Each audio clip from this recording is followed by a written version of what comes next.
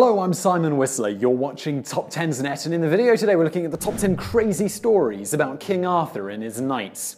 Just before we get started with this one, guys, I just want to say that if I screw up the pronunciations on some of these, I'm sorry. There are a lot of names and words that I might look up, but I don't exactly know how to pronounce, or I just screw up anyway. That in mind, let's get started. The early foundations of Arthurian legends, which other writers later expanded on, can be found in The History of the Kings of Britain by Geoffrey of Monmouth, which was published sometime around 1136 AD. For centuries, people believed Geoffrey's accounts were accurate depictions of England's past, however, it's now considered a piece of fiction. Today, it is still debated if King Arthur was a real person or simply a fictional character. There are no surviving written artifacts that mention him from the time period when he supposedly lived, which was between the 5th 5th and 6th century. However, some scholars think that Arthur may have been based on a Roman affiliated soldier that led British military forces against invading Saxons. As we already mentioned, Arthur and his Knights of the Round Table are popular literary characters, and different writers have interpreted their tales in different ways. It is similar to comic book characters, there are many different iterations of the characters and their adventures. So these stories aren't from one writer, instead, it's pulled from different famous Arthurian works, but one thing that does tie them all together is that they are all, well, they're pretty messed up. Number 10. Arthur's conception. King Arthur's father is Uther Pendragon, and how he came to sire Arthur is pretty dark and pretty creepy. The story starts with Uther falling in love with a woman named Igraine. The problem is that Igraine is married to the Duke of Cornwall, Gorlois. Uther and Gorlois get into an argument about it, and this leads to Uther invading Gorlois's land. A short distance away from his castle, Gorlois is killed. Meanwhile, Uther has Merlin change his appearance so that he would look like Gorlois. He then walks into Gorlois's castle and has sex with his wife. Igraine becomes pregnant with Arthur, and when he is born, he is given to Merlin to be raised. Number 9. Merlin's birth. Merlin is arguably the most famous wizard of all time, and he is the archetype for wizards that came after him. He also has the weirdest origin story for a wizard. Merlin's origins stretch back all the way to when Jesus died. When Jesus died, it allowed him to save Christian souls and send them to heaven. This made the devils, often called fiends, angry, and so they decide to impregnate a human woman that would give birth to a son that would advance the agenda of the devils. Essentially, they wanted an antichrist. After hatching the plan, one of the fiends torments a rich family that has three daughters and one son. The plan is to make them so miserable that they will turn away from God and one of the daughters will become susceptible to getting impregnated. So the fiend strangles the son, makes the mother hang herself, and then the father is so overcome with grief he kills himself. Then one of the daughters is seduced and then buried alive. Another one of the daughters was forced to be a commoner, and the eldest daughter, who could no longer resist the fiend, finally succumbs and becomes pregnant with the devil's baby see Yep, pretty weird. Once she does, she is arrested for fornicating and then locked in a tower. She is sentenced to be executed after giving birth. While in the tower, she meets with a religious advisor who tells her how to make sure her son doesn't grow up to be the Antichrist. When she does eventually give birth, Merlin is ugly, but he is clearly intelligent. In fact, when his mother goes to court for fornicating, Merlin is able to eloquently say his mother was guilty of nothing. If anything, he was the guilty party. The judge is amazed and he lets Merlin's mother live. Number 8. Merlin's childhood. Growing up, Merlin lives in the Emrys area of Wales, where the Celtic king Vortigern is building a castle. But the king is having problems with the construction of one of his towers because it keeps falling over. Vortigern asks his soothsayers what the problem is, and they say that in order for the tower to remain strong and standing, he needs to spill the blood of someone who is half human and half otherworldly. After the prophecy, it doesn't take long before Merlin comes to King Vortigern's attention. When Merlin arrives at the castle, he says the soothsayers are lying. He says that the reason the tower keeps falling over is because of what's under the tower, which is an underground lake. Under the lake are rocks, and below the rocks are two large and powerful dragons. Every time the king's men build the tower on the land above the lake, it makes the dragons roll over, which causes tremors, and they topple the tower. Merlin is so confident about the dragons that he says if he is wrong, then the king could drag him behind horses. So the king has his men dig and dig until they find the lake. The lake is drained, and beneath the rock are indeed two dragons, a red one and a white one. Vortigern is incredibly impressed with Merlin, and then Merlin tells him to gather his friends because when the dragons wake up, they are going to fight. Vortigern then asks him who will win, and in private, Merlin tells him that the victor will be the white dragon. For two days, the dragons they fight, and it looks as if the red one is going to win. Then, suddenly, the white dragon sprays fire at the red one. The red one dies after being engulfed with fire, and the white one dies three days later. Number 7. Sir Gawain and Lady Ablamar. One of the most well known aspects of Arthurian legend is the Knights of the Round Table. The knights were the most elite, and they sat at the round table because there's no head at a round table, so it made everyone equals. Several Arthurian legends revolve around the knights, and one of the more messed up stories is about Sir Gawain, who is Arthur's nephew. The story begins at the wedding of Arthur and Guinevere. During the reception, a white stag runs through the church and is being pursued by 60 black hounds and one small white one. Merlin tells Arthur that the stag needs to be pursued, so Arthur sends Gawain and his brother after it.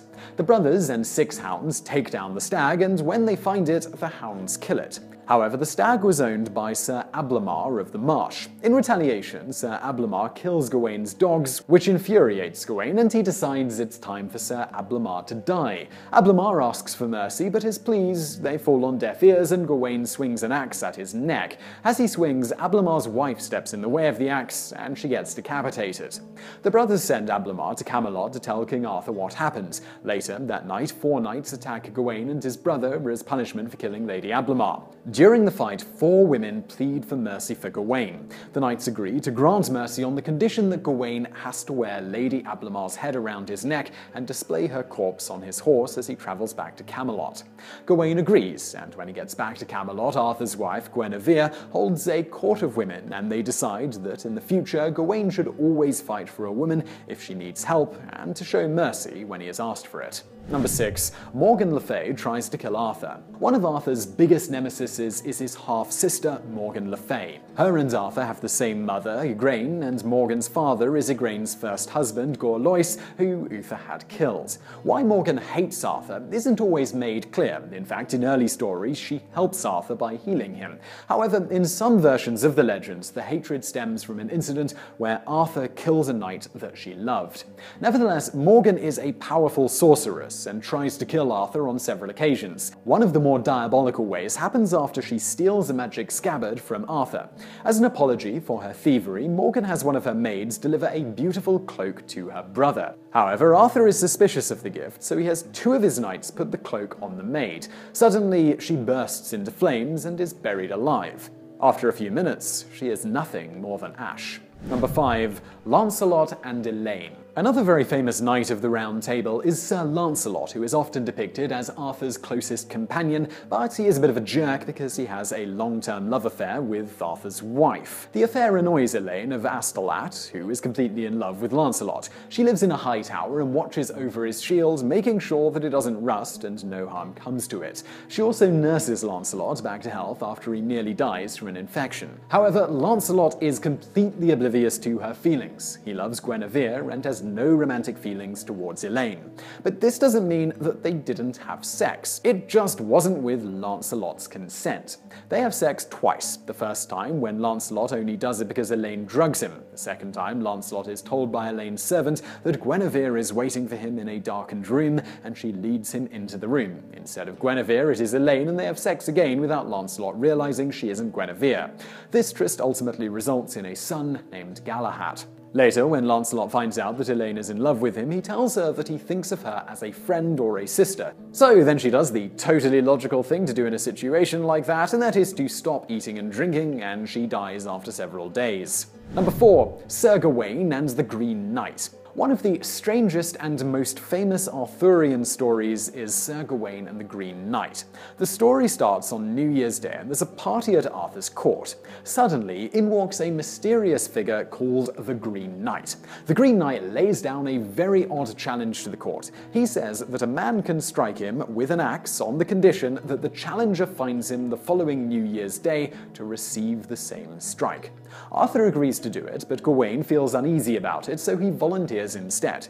He grabs his axe and in one swing he decapitates the Green Knight. The Green Knight then shocks the court by picking up his severed head, repeats the terms of the challenge, and walks out of the party. Gawain sets off from Camelot on the 1st of November, which is the day of All Saints, and on his journey he becomes cold, hungry, and sick. On Christmas Day, he finds a castle where a man named Bertilac, his wife, and an old woman reside. Bertilac welcomes Gawain into his castle and strikes an unusual deal with the knight.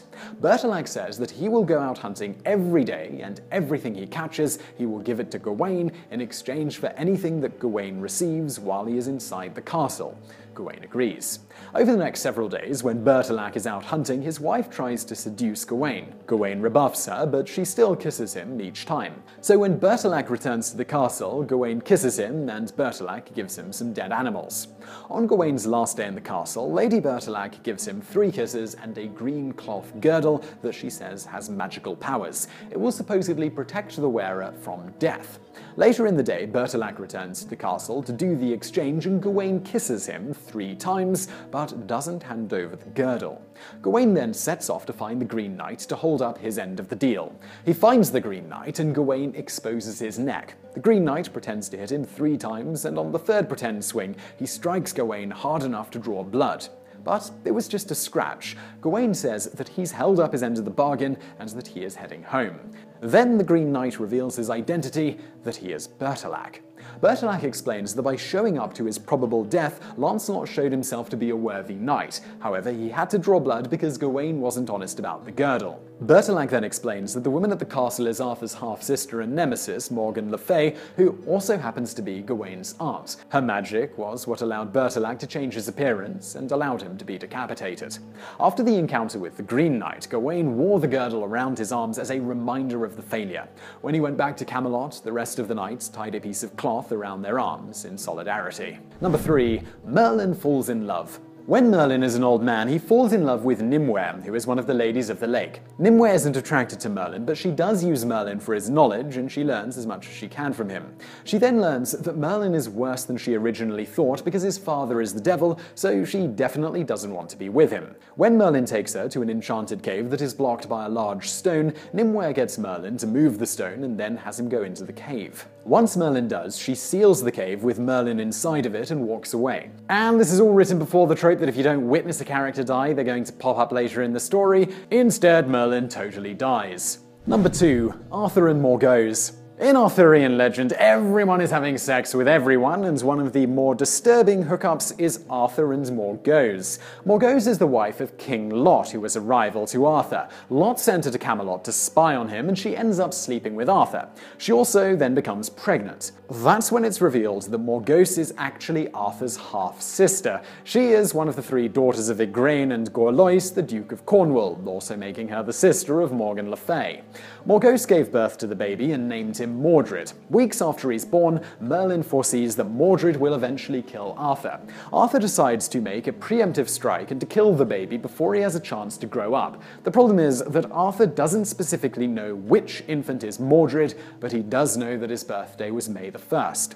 Arthur then rounds up all of the infants born on that day and sets them adrift on a boat. The boat eventually crashes against some rocks and all of the babies die except, you guessed it, Mordred. Number 1. Arthur's death. Mordred is found and raised in a nearby town. As an adult, he becomes a Knight of the Round Table, and that is when he really starts to mess with Arthur's life. Working with one of Gawain's brothers, Mordred exposes the affair between Lancelot and Guinevere, which ultimately leads to a war between Arthur and Lancelot. When Arthur is off waging battle, Mordred tells everyone in Camelot that Arthur is dead. He then tries to assume the throne and get into bed with Guinevere, who is technically his stepmother. In some versions of the story, he is successful in actually marrying Guinevere. Of course, Arthur wasn't dead, and he ends up fighting his treacherous son. Arthur impales Mordred with a spear, and Mordred pushes the spear deeper into his body so he can strike a mortal wound to Arthur. Arthur survives the battle, but he dies a short time later. So I really hope you found that video interesting. If you did, please do hit that thumbs up button below and don't forget to subscribe if you haven't already for brand new videos just like this every day of the week. Also, over there on the right, a couple of other videos that you might enjoy if you enjoyed this one. And thank you for watching.